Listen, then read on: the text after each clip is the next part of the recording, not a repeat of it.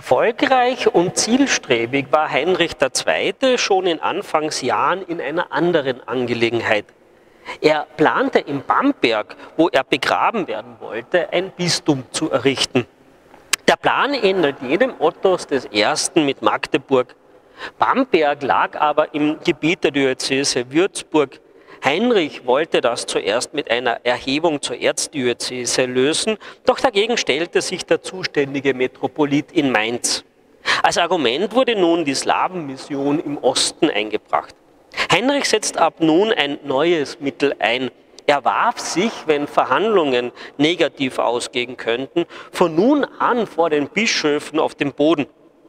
Die Versammlung lenkte also ein, der Papst stimmte zu zum ersten Bischof machte er 1007 seinen Kanzler. Gerade dafür wurde Heinrich 1146 heilig gesprochen. Die italienischen Angelegenheiten konnten nun nicht mehr aufgeschoben werden. Heinrich stand an der Schwelle zum zweiten Jahrzehnt seiner Herrschaft und war noch nicht in Rom zum Kaiser gekrönt worden. 1012 kam es in Rom zu Auseinandersetzungen über die Papstwahl. Zwei Männer wurden gefehlt, wovon einer bei Heinrich Schutz suchte.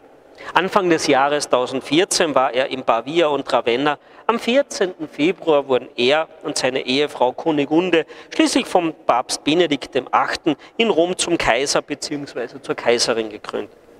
Der Papst schenkte ihm aus diesem Anlass einen goldenen Globus und ließ ihn von zwölf Senatoren sechs Bärtigen und sechs Bartlosen in den Petersdom geleiten.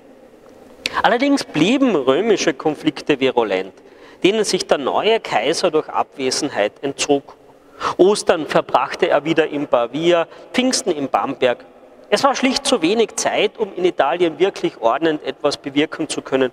Zurück zu Hause wartete, warteten die gewohnten Probleme, der Adel und Polen mit Boleslaw konnte 1018 ein endgültiger Frieden geschlossen werden. Er zementierte die Verhältnisse.